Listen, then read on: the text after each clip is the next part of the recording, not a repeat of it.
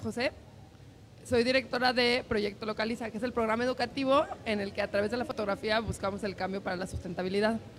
Eh, ellas, Ceci y Alejandrina, ellas son participantes de Proyecto Localiza en un colegio. Entonces ellas me van a ayudar, digamos, como a dar el taller un poco. Entonces, ¿cómo te llamas? Nadia, Mariana, ¿cómo? Germán, ah, ok, mucho gusto. Bueno, entonces mi nombre es Majo. Entonces, el propósito de este taller es que sea muy dinámico, este, que sea muy activo y que ustedes en 40 minutos puedan aprender lo que Proyecto Localiza, que es el programa educativo que trabaja con, con los jóvenes en las preparatorias, hace en 5 meses, entre 5 y 8 meses en un colegio. Entonces, les voy a poner como poquito en contexto primero de qué es Proyecto Localiza, cómo funciona, eh, qué es lo que buscamos y ya después eh, la idea es eh, darles como los elementos básicos de, cómo se hace una fotografía para la sustentabilidad con la técnica que se desarrolla en Proyecto Localiza. Entonces, bueno, primero, Proyecto Localiza, el día de hoy estamos dando este taller dentro del marco de comunidades. Yo pertenezco a Social Valley, que es la comunidad de innovación y emprendimiento social de México. Y en esa comunidad eh, lo que buscamos es promover e impulsar todo lo que tenga que ver con emprendimiento social. O sea, el impulso a proyectos, el impulso al ecosistema, a los actores que están involucrados, etc. En Social Valley, de hecho, hacemos encuentros una vez al mes. Eh, son eh, abiertos para el público en general, quien se quiera acercar. Cada vez tenemos distintos espacios y lo que buscamos es ir eh, generando pues conocimiento, experiencia, intercambio de conocimiento, experiencia acerca de todas las soluciones y todos los proyectos que están buscando para impulsar temas de emprendimiento social. Hola, buenos días, bienvenido quieres acércate así como somos poquitos para que sea en chiquito. Le puedes dar un, una etiqueta y un que escoja un, tema. Este, bueno, Proyecto Localiza es la iniciativa educativa eh, que busca promover la sustentabilidad a través de la fotografía documental. Esta iniciativa forma parte del Lexicon of Sustainability. Lexicon of Sustainability es la organización eh, internacional que promueve la sustentabilidad a través de la fotografía documental. Lexicon está basado en Estados Unidos, California. Les voy a ir pasando igual para que vayan ojeando. Este es el libro que se ha hecho eh, por parte de Lexicon en, Estados Unidos.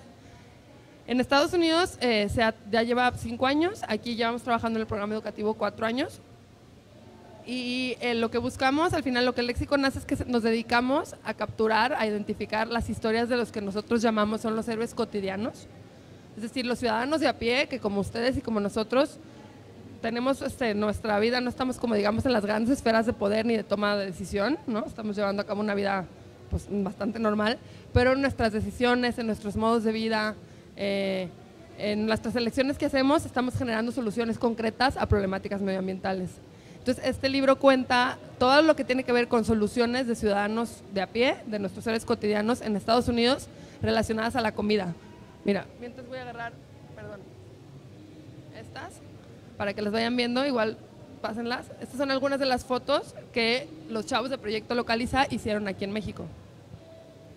Entonces en el libro pueden observar un poco el chiste del lexicon, es que todo, todo, como la herramienta principal es la fotografía. Entonces buscamos la concientización, eh, compartir, generar conciencia eh, acerca de las experiencias y de las soluciones que se están generando a través de la foto con una técnica especial. Si ustedes observan las fotos y el libro, es como un collage o sea, es un collage de fotos que ya después les van a explicar cómo se hace, pero que se centra al final en contar las historias de ciudadanos de a pie como nosotros. Si, ustedes ven siempre como el centro de, la foto es, un personaje principal y ese personaje principal tiene nombre, tiene apellido, tiene una historia, tiene una motivación, tiene una razón de, tiene una razón, este, un propósito por el cual está ahí, por el cual nosotros lo estamos documentando. Entonces, eh, bueno, de, manera general, es Lexicon of Sustainability. Lexicon of Sustainability hace varias cosas, eh, genera contenidos como el libro, generamos exposiciones y su principal actividad es que tenemos Proyecto Localiza, que es el programa educativo. Entonces, en México, Proyecto Localiza, este es el segundo año, se está llevando a cabo en tres colegios aquí en Guadalajara, con el Bachillerato Pedro Arrupe, con el Instituto de Ciencias y con el American School. Y lo iremos expandiendo cada vez más. Entonces, ¿cómo funciona Proyecto Localiza? Nosotros partimos de un principio y una premisa básica bien simple, que es esta. La gente vivirá de forma más sostenible si entiende los conceptos y principios básicos que definirán la próxima economía. Entonces, si ustedes observan en el libro, tanto en el libro como en las postales, eh, todas tienen, se centran en contar la historia de una persona, pero además tienen abajo eh, término, un término principal que enmarca la fotografía. Entonces, digamos que a lo largo del, del proceso de documentar estas historias, los propios personajes o los héroes cotidianos nos van compartiendo su visión y su perspectiva de lo que están haciendo. Y con eso ellos van armando, o sea, nos van compartiendo como términos que definen lo que están haciendo, ¿no? Entonces, por ejemplo, en las postales pueden ver alguno de los términos, ¿ese qué dice? Eh, chococultura, ¿no? Entonces, otro es, el otro que dice, permacultura. Entonces, cada fotografía enmarca una solución y cada fotografía tiene un término que, que, define la fotografía. Entonces, por eso al final se llama el léxico de la sustentabilidad, porque nosotros lo apostamos a que en la medida en la que vayamos entendiendo y adquiriendo más conocimiento acerca de los términos que definen todo lo que tiene que ver con sustentabilidad, tendremos más posibilidades de alcanzar la transformación de hábitos, este, de y la mejora pues al final de nuestro entorno, porque entendemos, o sea, si no conocemos los conceptos, si no conocemos que es diferente un eh, libre pastoreo a un pastoreo este, que no es libre, digamos, hay un término que se llama libre pastoreo que habla de cómo las vacas, eh, digo, dan leche y así, pero no están encerradas en un espacio definido y limitado. Eso es libre pastoreo y tiene un impacto enorme a nivel ambiental y a nivel dentro de la vida del animal. Entonces, si nosotros vamos conociendo que hay distintas formas de vida y que cada uno tiene un término que lo define, entonces nuestras posibilidades de cambio, nuestro alcance y nuestra visión es más grande. Entonces nosotros le apostamos a que podemos vivir de manera más sostenible si vamos entendiendo y conociendo todo lo que compone la sustentabilidad. ¿sí? Entonces, bueno, esta es como la premisa principal. Proyecto Localiza justamente se trata de eso, entonces, de localizar las historias de sustentabilidad en nuestra ciudad, o sea, en nuestro entorno cercano, corto, por eso es Proyecto Localiza, eh, y de con ellas se desarrollan distintas habilidades, la habilidad de investigación y redacción, análisis y pensamiento crítico, liderazgo y trabajo en equipo, multimedias digitales y comunicación y gestión. Entonces, durante Proyecto Localiza, el, o sea, durante este programa, los chavos como Ceci y como Alejandrina lo que tienen que hacer es que tienen que dedicarse a descubrir primero los proyectos que hay en su localidad existentes, se han sorprendido y yo me he sorprendido junto con ellas al encontrar que hay muchas más soluciones de las que pensábamos, hay mucha más gente haciendo cosas y al final lo que falta es compartirlas, ¿no? Entonces, de alguna manera, Proyecto Localiza hace que nosotros nos convirtamos en voceros, en portavoces de las soluciones que ellos están haciendo. Eh, y entonces se desarrollan todas estas habilidades y hay como cuatro etapas básicas en las que se implementa eh, el proyecto Localiza. Una es aprende, otra es localiza, la tercera es crea y la cuarta es comparte. Entonces en aprende ellos tienen un acercamiento general con los términos, con el funcionamiento del proyecto, eh, con el enfoque hacia las soluciones, hacia los términos, hacia el entendimiento de los términos. Entonces, por ejemplo, a lo mejor eh, se clavan un poco más en conocer las historias, las imágenes, tal, ¿no? Eh, luego es localiza, que es donde ellos salen a través de visitas de campo, que ahorita vamos a simular unas visitas de campo aquí con ustedes, pero, o sea, ustedes, ellos salen y encuentran, identifican los proyectos, las soluciones que ya existen y empiezan a, tener acercamiento con los actores, a entender por qué lo están haciendo, qué hicieron, cómo funciona, ¿no? De manera grupal. Esa es la segunda etapa. La tercera etapa es cuando ellos crean, entonces ellos ya escogen una historia específica, se, se organizan por equipos y, y, dicen, ah, bueno, a mí me latió esta solución, porque eso es muy importante, nos enfocamos en soluciones, no en problemáticas, soluciones. A mí me latió esta solución, este, entonces yo voy a documentar tal solución, ¿no? Eh, la solución del bosque pedagógico del agua, del parque ecológico Zapopan, el huerto urbano que tienen ahí, de cómo tienen baños secos, eh, de cómo en Rancho La Luna cultivan puras eh, de, manera orgánica nada más, etcétera.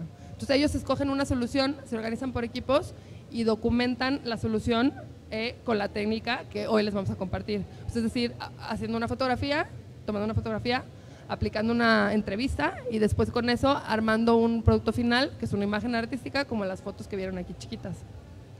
Y entonces, por ejemplo, estos son algunos de los, de los eh, resultados, como los que tienen. Este fue del año pasado y este es en el Parque Ecológico de Zapopan. Y cuenta la historia de Farid. Farid es uno de los chavos que estaba muy involucrado en el Parque Ecológico de Zapopan. Eh, que él estaba como cuidando toda la coordinación así, pero al final él ayudó a planear todo el funcionamiento del parque con visión eh, de, este, y como la implementación de lo que se llama la permacultura, ¿no? Luego, este, este señor es uno de los líderes de la planta de tratamiento de agua de Bugambilias. donde todo el agua que o sea, nosotros no sabíamos, pero lo fuimos descubriendo sobre el camino, todo el agua de, bueno, no sé si toda la de Bugambilias, pero una parte se trata y se reusa. Entonces los chavos hicieron esta foto. Y, implica muchísima creatividad, si pueden ver, porque, o sea, ellos entienden, aplican la entrevista y después tienen que identificar cómo es que van a plasmar la información que ellos recuperaron para que sea algo visible, algo atractivo visualmente y además para que tenga un impacto y para que de alguna manera relate de manera fidedigna la historia. Y siempre el centro es la persona, ¿sí? los ciudadanos, los héroes cotidianos. Esta es el rancho Los, Eucaliptos y es la historia de Nereida, que junto con su esposo, su esposo tiene todo un rancho en el que trabajan todo de manera eh, orgánica y natural, pero además ellos tienen un banco de semillas en el que promueven el intercambio y la conservación de semillas. Entonces aquí el, el término que escogieron es conservación de semillas y van platicando todo el proceso, ¿no? Esta es la historia de eh, Sofía, del Salto, del Un Salto de Vida, que es la organización que está basada en el Salto, que se dedica a promover la conciencia acerca de la contaminación del río Santiago y a tratar de generar como pues, distintas estrategias y propuestas para hacer frente a la situación bien difícil en la que se encuentran, que es que viven al lado del río más contaminado de México. Eh, y no contaminado de aguas negras, sino contaminado de lixiviantes muy pesados de las industrias eh, electrónicas. ok, entonces esta es la historia de Sofía, eh, una de las líderes del, proyecto, y su hija, y cómo están creando un huerto urbano en el que, en el que ellos están tratando como de generar sus propios medios de producción. Esta es la historia del cazatormentas, que es el sistema, un sistema de captación de agua de lluvia que desarrolló un ingeniero que se llama Arturo Gleason. Entonces, este sistema de captación de agua de lluvia está en una camionetita, lo pueden ir rotando por toda la ciudad, pero al final tiene todo un proceso, o sea, puedes ver como todo el proceso de cómo se capta el agua de lluvia y se reusa. ¿Sí? Y bueno, este es el de autoproducción. ¿Este dónde fue? ¿Quién lo hizo? Este es el de autoproducción y es... ¿Eh? ¿Tú lo hiciste? ¿Dónde es? Ah, de Nereida. Sí, ok. Entonces, si se fijan, por ejemplo, aquí se repitió dos veces la misma historia, que es el rancho de los eucaliptos con Eneria, pero cada quien le dio un enfoque muy distinto. O sea, la otra chava decidió enfocarse en conservación de semillas, que es una de las iniciativas que tiene Eneria en su rancho, y ella decidió enfocarse en la parte de cómo está autoproduciendo todo. Entonces, digamos como que al final tiene muchísima el elemento de creatividad, porque ustedes deciden de qué manera quieren abordarlo y qué es lo que quieren comunicar. Pero sí se tiene que estar muy enfocado a que tiene que haber una solución o sea, tiene que contar una solución, tiene que haber un término que lo enmarque y quien personifique eso tiene que ser, valga la redundancia, una persona. O sea, alguien que tenga nombre, apellido y que puedas poner en la fotografía y que nos pueda platicar qué es lo que está haciendo, por qué lo está haciendo, qué es lo que lo motiva, tal, ¿no? Entonces después, una vez que ellos, voy a regresarme a, a esta, que me gusta mucho, bueno, a todas. Una vez, una vez, que, una vez que ellos este, hacen esto, hacen la parte creativa, pasan a la cuarta etapa, que es la parte de comparte, que es donde ellos tienen la misión de, porque pues tiene valor hacer una obra artística así, pero al final tiene más valor, no tiene tanto valor si no se comparte, si no se da a conocer. Entonces, ¿cómo se van a conocer todas estas historias que hasta nosotros mismos nos hemos sorprendido de que están, están sucediendo, si no las difundimos? Entonces ellos tienen como premisa generar una exposición inaugural en su colegio, en el que ante la comunidad del colegio pueden presentar lo que están haciendo. Y luego además empieza a haber una serie de eventos, exposiciones, eh, participar como en distintas actividades en las que puedan ellos llevar estas historias a otros lados y se puedan dar a conocer. Porque al final nuestra apuesta es que las historias de cambio están en todos nosotros. Y la fotografía es como la herramienta en la que podemos capturar y podemos usar como esa, podemos ser los portavoces de eso. Entonces ahora podemos pasar ya a la, dinámica como tal, o sea, que es la parte del taller, que es como muy activa. Cada uno de ustedes tiene una etiqueta de acuerdo al, al color que escogió por el tema.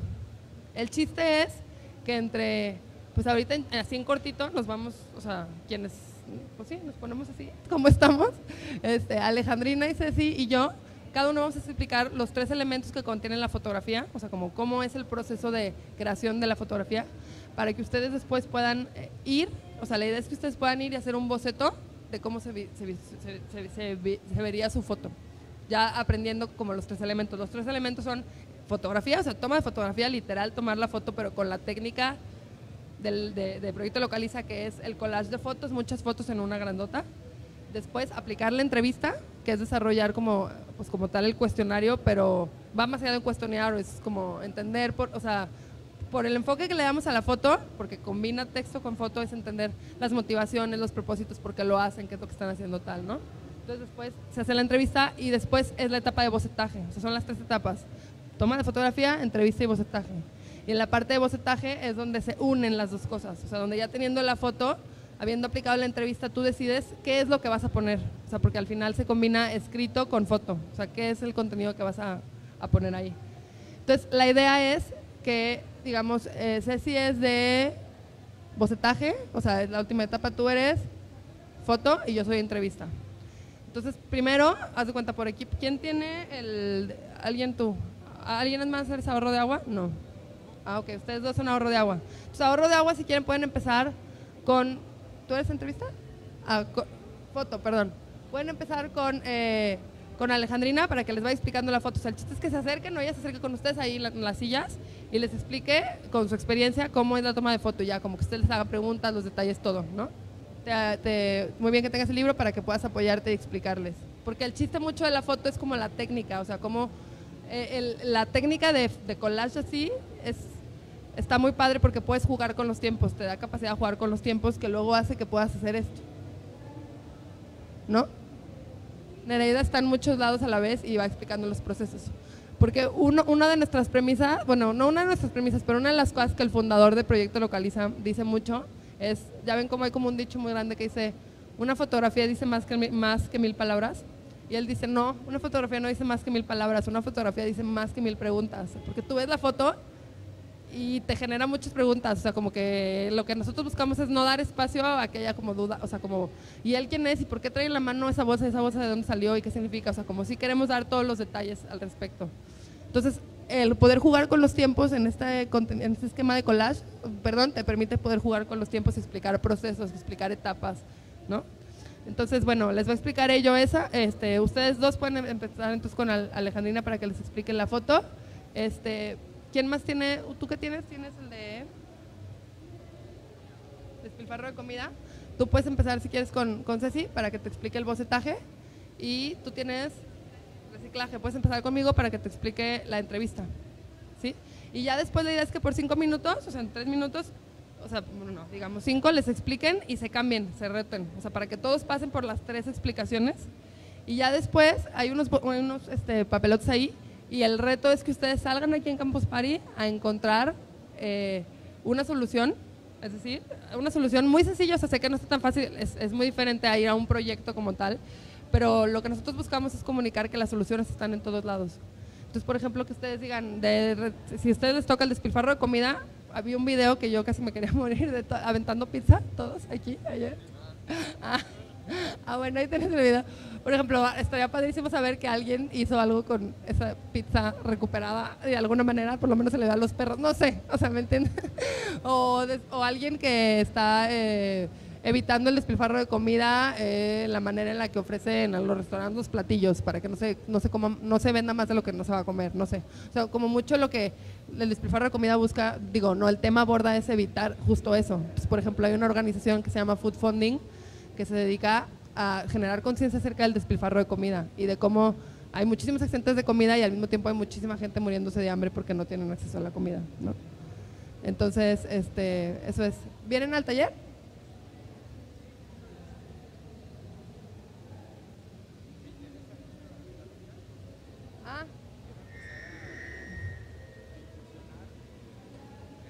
Ah. Acércate si quieres.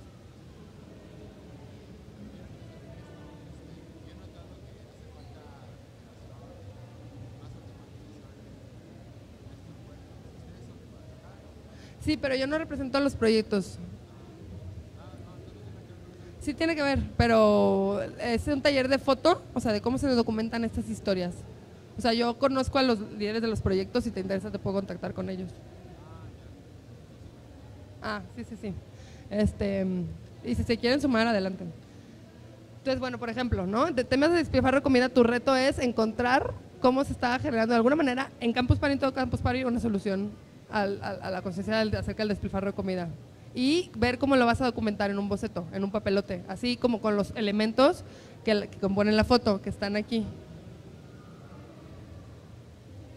Estos son los seis elementos que tienen que componer la foto. ¿Sí? Ahí se va a quedar ya esto puesto. Para que lo tengan. Entonces, bueno, por ejemplo, ese es un ejemplo. Y luego alguien que le toque reuso, si hubiera aquí, estoy segura, probablemente quiero pensar que en algunos de los campos, o sea, hay un lugar de donde se está recopilando todas las pilas usadas y así, ¿no? O todas las computadoras viejas o celulares. Es un ejemplo buenísimo de reuso, de una solución bien concreta. Y luego el otro que es este ahorro de agua. Alguien que tenga un termo y no tenga una botella de agua comprada. O sea, no, no, bueno, eso no sería reuso, pero por ejemplo, ahorro de agua sería en los baños que no tienen como limitado el uso del agua. O sea, al final no, la invitación no es a que encuentren la solución más compleja, que no, pero es a que identifiquemos que en todos lados están las soluciones y la capacidad de cambiar nuestras acciones hacia una visión más sustentable. Entonces, eh, una vez que pasamos por las tres estaciones, ustedes tienen tiempo, 20 minutos, para que vayan y encuentren esa solución y decidan cómo es que la quieren plasmar con este bosquejo, ¿sí? En, una, en un boceto que ustedes hacen y ya después que lo presenten, ¿va? Entonces, vamos empezando. Este, entonces, nos podemos recorrer, hace cuenta como... Hay llenas espacio